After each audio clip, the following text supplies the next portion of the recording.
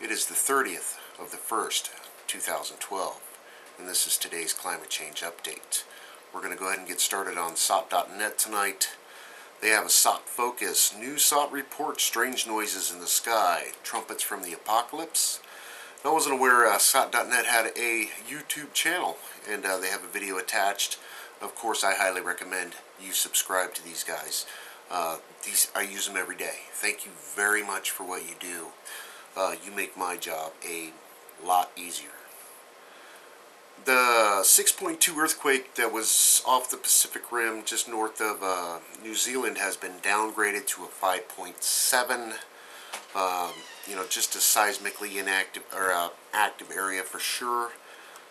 Australia shark attacks. Three swimmers attacked in unusual first three weeks of 2012.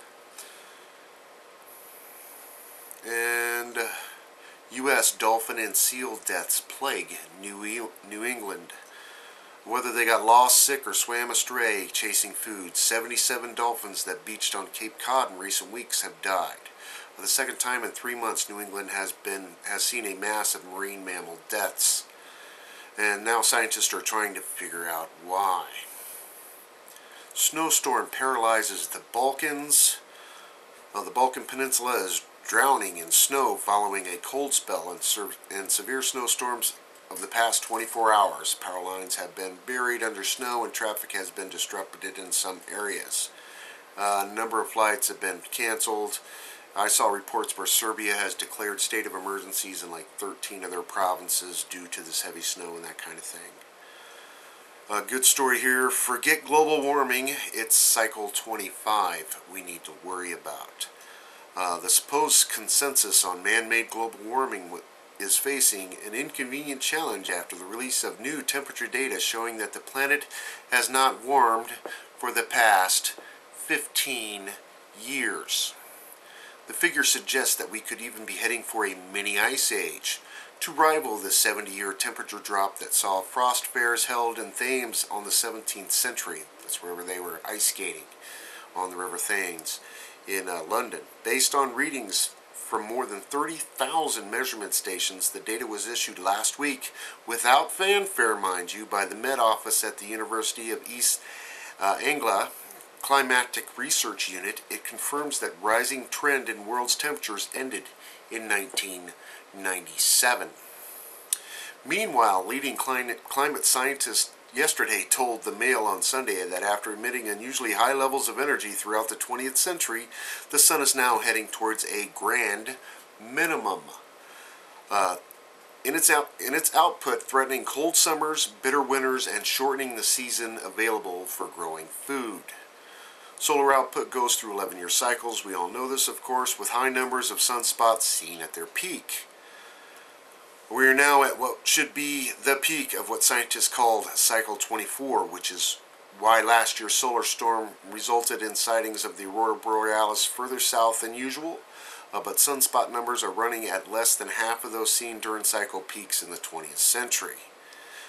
Uh, analysis by experts at NASA and the University of Arizona, derived from magnetic field measurements 120,000 miles beneath the sun's surface, suggests that cycle 25, whose peak is due in 2022, will be a great deal weaker still.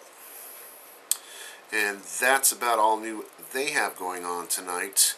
What man is doing to destroy this planet uh, I have a story on the extinction protocol, environmental watch, microplastic fibers from washing clothes showing up in the marine environment.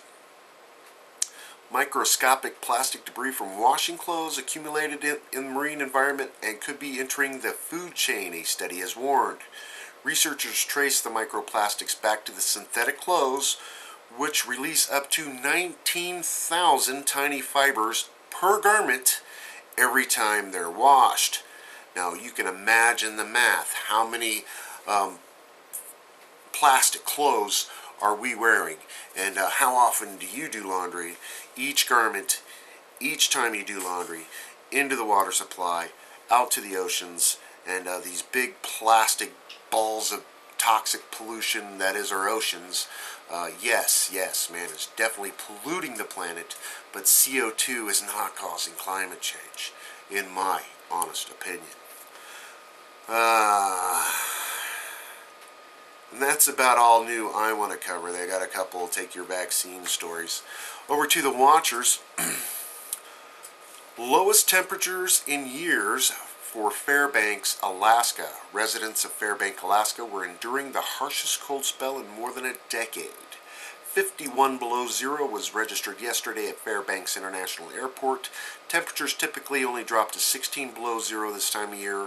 Record low for Fairbanks is 60 below zero from 1933.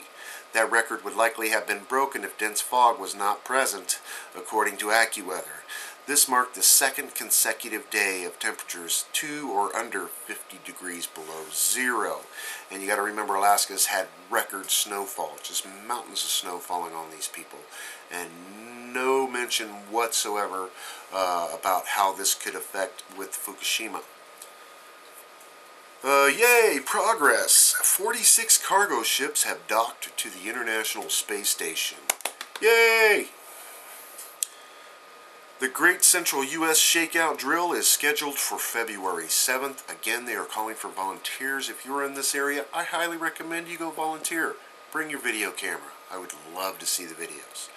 Uh, the Great Central U.S. Shakeout will take place Tuesday, February 7th at 10.15 a.m. So far, more than 1.7 million participants from the region have agreed to take part in the drill in some form. This this time of year marks the 200th anniversary of the New Madrid earthquakes that occurred between December 1811 and February 1812. Uh, the epicenters of those quakes were in southwestern Missouri and northeastern Arkansas. And um, again, they attach the website on how you can participate too. Again, I encourage YouTubers to go out there with your video cameras and participate. We would definitely like to see what's really going on with this. Warning, ACTA is worse than SOPA. Here's what you need to know. And basically, uh, they're going into copyright stuff and that Obama's already signed this bill and it's left wide open for their interpretation and uh, the insanity continues, continues. Well, that's about all I have climate change tonight. Over to the nuclear stuff, uh, ENENews. Impossible? Question mark. Worst case scenario prompted government to send reinforcements to Fukushima plant. We could not even announce the fact that we complied such a simulation.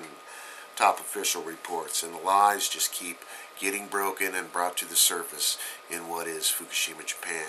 Uh, we are all in a lot of trouble. TEPCO radioactivity radioactive contaminated water came from ruptured frozen pipes. Only cesium was removed, and you remember they're they're they're um, taking the radiation out of um, the water um, that is Fukushima, and uh, they're just removing the cesium and declaring it safe. And uh, here's another story to compile with that. Sources reveal about a thousand kinds of radioactive materials released from Fukushima reactor. And you remember yesterday they put out a report where the salt water has produced brand new compounds they never even thought it would happen, um, just compiling these three major nuclear meltdowns. Uh, they've got a CBS uh, four-hour radio report on um, Three Mile Island. Uh, reports enormous increase in cancer deaths, infant mortality rates doubled, birds disappeared, many mutations were observed. And this was years and years ago. This is back when Three Mile Island did its thing. And uh, frozen water ruptures pipes at Fukushima plant. Cooling system stops at spent fuel pool number four. They said it shut down for like an hour and a half. Um, but the temperature of the tank didn't vary very much. Uh, not enough to be announced or whatever. Uh, it is 8 degrees below uh, negative 8 Celsius in Fukushima uh, at the time, and that might have helped to keep the tank cool for sure. Uh, but number four is, was low and leaking anyway uh, due to reports. So who knows what's really going on. Uh, government check compromise chromosome. Uh, government to check chromosomes of Fukushima wildlife, plant and animal appearance, reproductive function, And um, that's about all new they have tonight.